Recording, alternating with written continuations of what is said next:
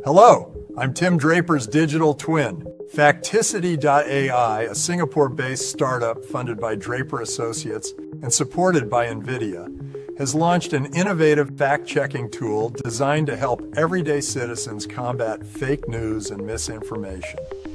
The platform, introduced at the National Library Board's Sure Roadshow, promises to make fact checking more accessible, accurate, and automated, addressing the growing concerns about the spread of false information and the dangers posed by AI generated hallucinations.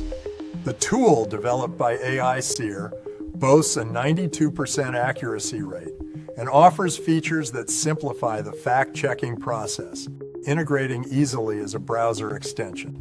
Facticity is officially on the Chrome Web Store. Add it to Chrome and start fact checking right away. Let's try searching Does PS Cafe Singapore have a vanilla cake? It confidently said, Yes, reality check.